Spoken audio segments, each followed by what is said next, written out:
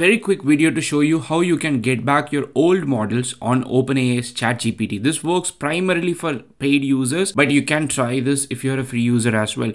People have been going bonkers because OpenAI suddenly deprecated a lot of models, and especially on Reddit, people are just venting out that 4o was the model that they were always chatting with and the new model doesn't understand them. So openai has made an effort to bring it back and in this video i'm going to show you how you can get those models back and which new gpt-5 model you should use for what kind of use case.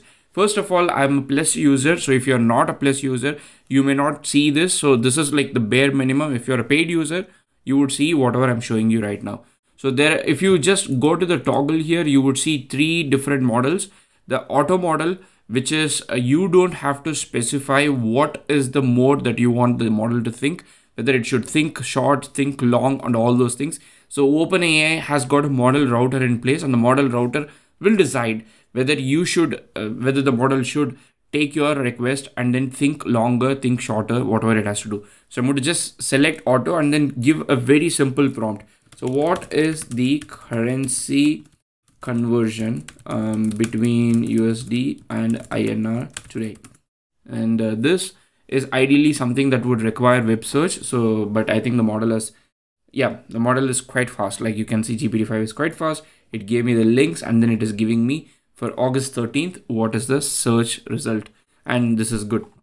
Now, if you don't want the model to decide what it should do, but you want rather to decide like whether you want longer thinking, then you can select the thinking model. So you can either select auto, you want like very fast instant answers just like GPT-4o, then you can select fast or you can select thinking. Now these are the three options that are primarily GPT-5 options. So none of these are older models. All these three options, auto, fast, thinking, all these three options are primarily GPT-5. Now if you have got Pro, let's say you're really, really rich and paying a lot of money to OpenAI, then Pro is the best model that you want to use right now. So if you are try trying to use Pro, then you can get the best tasks done with Pro. And I've heard a lot of people saying Pro is way league above the other set of models that OpenAI has released in part of GPT-5. Now, the legacy model that they have released is GPT-4o. So by default, GPT-4o is available under the legacy models tab if you're a paid user. But if you're not a paid user, you might have to enable it from the settings. Either way, GPT-4o is back. One model that is not back at all is GPT 4.5 because OpenAI said that requires a lot of compute, a lot of GPU to run. So it is available only for pro users. But if you want O3, which was my favorite model until they decided to do this complete shenanigan, so if you want o3 if you want like older models how can you get it you can go to the settings and in the settings you can select settings here. And uh, you can see that show additional models. So when i select show additional models and come back and then see here you can see in the legacy models i'm going to see gpt-4o gpt 4.1 o3 o4 mini. And even in this menu you can see that i've suddenly got thinking mini. So now my auto is between these three models, the fast, thinking mini and thinking. Thinking is like O3, thinking mini is like O3 mini and fast is like GPT-4o. So that's kind of the mental model that you should have.